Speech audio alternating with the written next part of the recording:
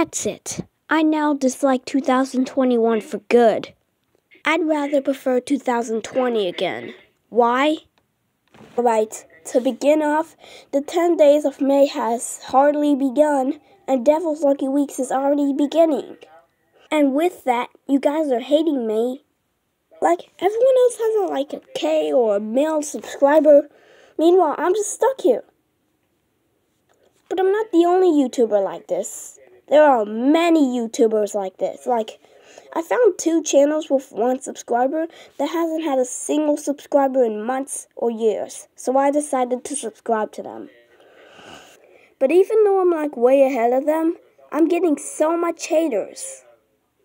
Literally. Yeah, guys, I'm gonna have to play it. I'm leaving YouTube again. Even though I literally said I wasn't gonna rate at dislikes anymore, did you really think you were gonna fall for that? Or I was gonna fall for that?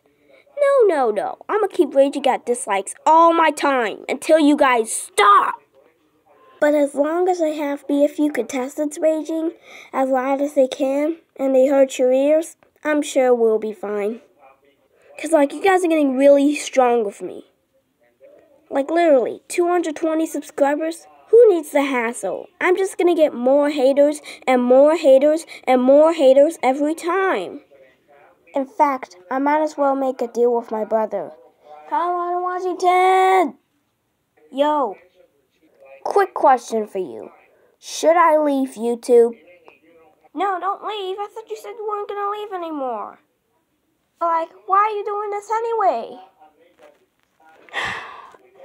Not just because of hating because of 2021. 2021 is going terribly for me. Literally.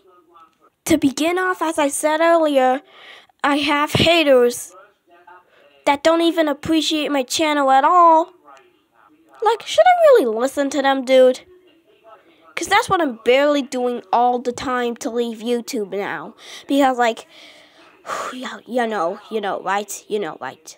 Yeah, I get you. I'm sorry. And I'm not saying I hate you, Colorado and Washington. I hate the viewers out there right now. And you know why? And why again? Because I could just do this. Why do you think people hate you so much? Dislikes are just probably trying to support you or something. They are not. They think I won't succeed in life for my attitude, even though they will be the ones not succeeding in life. Uh, uh. Or how about we just end the video here, right? Yeah, maybe. So, yeah, bye.